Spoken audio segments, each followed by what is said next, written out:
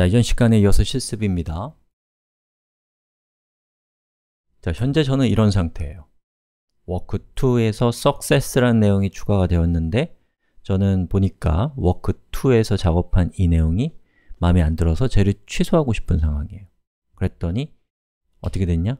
status를 떼보니까 work.txt가 conflict가 났습니다. 자, 이때에 git merge tool이라고 하는 이 뭐죠? 병합 전용 도구를 실행을 시키면 훨씬 더 상황을 명확하게 여러분이 파악할 수가 있어요. 자, 한번 볼까요? 자, 이것이 실행된 결과입니다. 자, merge tool은 여러분 상황에 따라서 다 다르겠죠? 저는 P4Merge라고 하는 tool이에요. 자, 보시니까 보니까 노란색이 베이스예요. 중간에 게 베이스고 자, 왼쪽, 오른쪽, local, right가 있는데 이건 내용을 보고 파악하시면 돼요. 자, 보시는 것처럼 베이스가 뭐예요? 우리가 취소하고 싶은 버전의 내용이 들어있잖아요.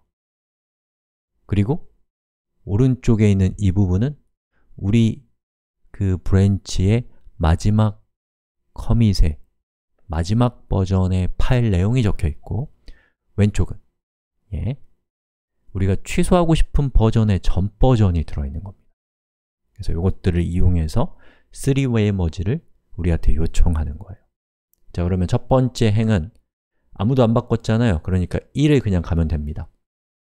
두 번째도 그냥 1로 그 마이너스로 가면 되고 세 번째를 보니까 어 왼쪽을 보면 저 fail이라고 되어 있는 이 fail이라고 되어 있는 부분을 취소하고 싶은데 오른쪽에 보니까 어, 최신 버전에는 success가 있는 거예요. 그럼 우리가 이걸 참고해서 어떻게 이거를 수정할까를 결정하면 되죠. 저는 이 success라고 내용을 이렇게 바꾸고 싶어요. 그럼 얘를 바꾸고요. 그 밑에 불필요한 이런 것들은 그냥 지워버리면 되고요. 그리고 한 칸 띄우고 한 칸 띄우고 그 다음에 자, 저의 최신 버전은 내용이 3인데 얘는 내용이 없고 얘도 내용이 없는 거예요. 똑같잖아요, 둘은. 내용 없는 게 똑같잖아요. 그러니까 그 다음 행은 3이 되는 게 맞고요. 나머지는 필요 없으니까 지우고 이렇게 하면 제가 원하는 상태로 우리의 그 work.txt를 변경한 게 되죠. 저장. 그리고 얘를 끕니다. 그리고 git status를 해보면 보시는 것처럼 work.txt라는 파일이 이렇게 자동으로 스테이징 상태에 올라가 있고요. 밑에 있는 work.txt.org라고 하는 파일은 우리가 혹시나 이걸 병합하는 과정에서 실패를 할 수가 있거든요. 그런 경우에 이 text.org라는 파일을 참조하세요 라는 뜻입니다.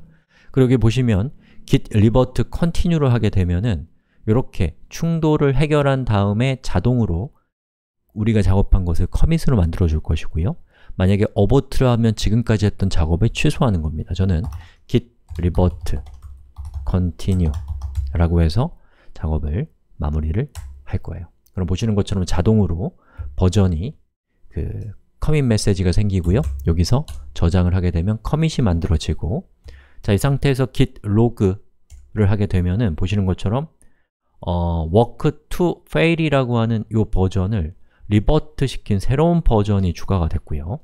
자, 제가 cat work.txt를 해보면 보시는 것처럼 이 세 번째 행에 success는 들어있지만 fail은 배제된 상태가 나오게 된다 라는 겁니다.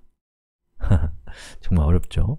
예, 그래서 이 revert라고 하는 것이 이래, 이래서 참 어려운 기능이에요. 하지만 또 쓸 줄 알면 뭔가 굉장히 그 예리한 칼처럼 어, 적재적소했으면 좋겠다는 생각이 들긴 하죠. 예. 자, 이렇게 해서 우리 revert가 무엇인가? revert는 왜 충돌을 발생시키는가? revert가 충돌을 발생시켰을 때 어떻게 처리하는가에 대한 얘기를 해봤습니다.